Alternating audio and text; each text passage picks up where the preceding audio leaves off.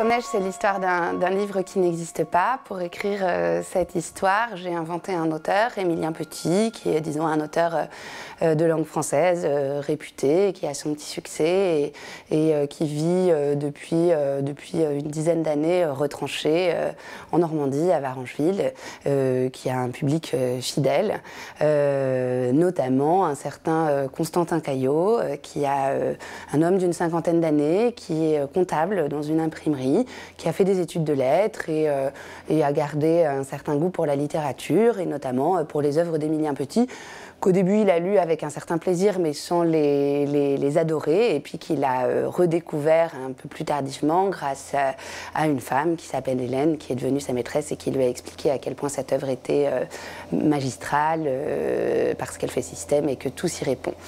Euh, Constantin Caillot, notre homme, est marié euh, par ailleurs à, Suzanne. Ils ont une vie euh, qu'il qualifierait lui-même peut-être d'un peu banale. Et, ils partent un jour en, week-end à Crux-la-Ville. À la maison de la presse de Crux-la-Ville, il tombe sur un livre d'Émilien Petit qui s'appelle Neige noire, qu'il ne connaît pas. Cela l'étonne car euh, il croit bien avoir tout lu de l'œuvre de cet écrivain et il l'achète immédiatement, il le lit, ça lui plaît, il se dit chouette chouette, je vais pouvoir rappeler euh, ma maîtresse Hélène qui disparaît un peu au gré de ses humeurs. Voilà, euh, Hélène ne connaît pas le livre, et au fil du roman, on se rend compte qu'en fait personne ne connaît ce livre. Émilien Petit euh, lui-même semble le récuser et, le roman va se transformer en l'enquête de Constantin Caillot à propos de Neige Noire d'Émilien Petit. Ce qui est certain, c'est que le départ de ce livre, c'est d'inventer un livre qui n'existe pas. Euh, pour euh, qu'il n'existe pas, il fallait qu'il y ait euh, une sorte d'entourage à cette non-existence. Et de fait, un, écrivain euh, connu à qui on adjoindrait une œuvre qu'on ne lui connaît pas, l'idée m'amusait.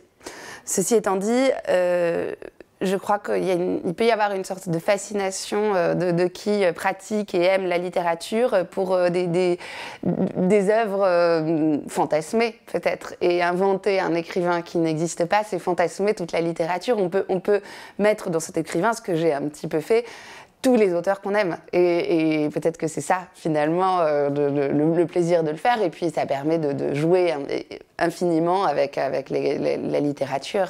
C'est un hommage à la littérature, à la vie littéraire, au monde du livre. C'est un hommage à tout, ce qui est autour du livre, euh, à, ce que peut nous procurer le plaisir de lecture, évidemment, et, euh, à toute cette petite vie euh, qu'évidemment je, pratique pour être en plein dedans et même être tombée dedans quand j'étais petite par des parents qui même sont éditeurs, écrivains et journalistes. Mais j'ai voulu cet hommage joyeux et pas trop auto-centré dans la mesure du possible parce que je crois que, que ce, plaisir-là,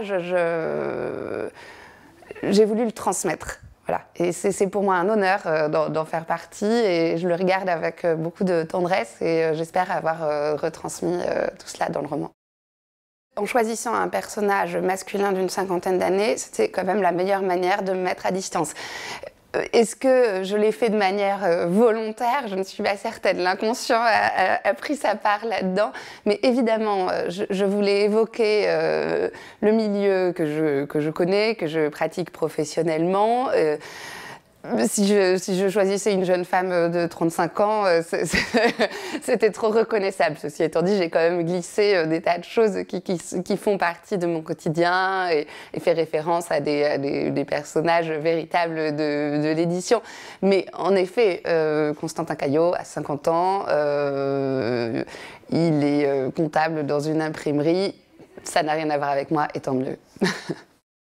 L'envie d'écrire est venue euh, de plus en plus en découvrant la littérature contemporaine. J'ai fait des études de, lettres assez classiques, euh, mes fois, et, plus j'ai évolué, plus je me suis tournée vers la littérature contemporaine et dans mon milieu professionnel. Et d'une certaine manière, euh, les lisant et les appréciant, euh, les auteurs qui peuvent être, alors évidemment, il y, en a, tellement que ça m'est difficile d'en citer. Il y a ceux qui apparaissent dans le roman en tant que personnages, euh, Jean-Philippe Toussaint, Olivier Rollin, Antoine Volodine, mais ce ne sont pas les seuls, car je, truffe le roman de, de références aux auteurs qui m'accompagnent et qui m'ont accompagné dans l'écriture. On pense, je pense à, à, Chevillard, à Éric Chevillard, évidemment, mais aussi bien à des gens comme Marcel Cohen, que, dont j'admire euh, l'œuvre absolument. Et euh, toute cette famille euh, a constitué pour moi une, sorte de communauté dans laquelle j'ai voulu rentrer en écrivant moi aussi et, en leur témoignant pour mon premier roman de mon admiration.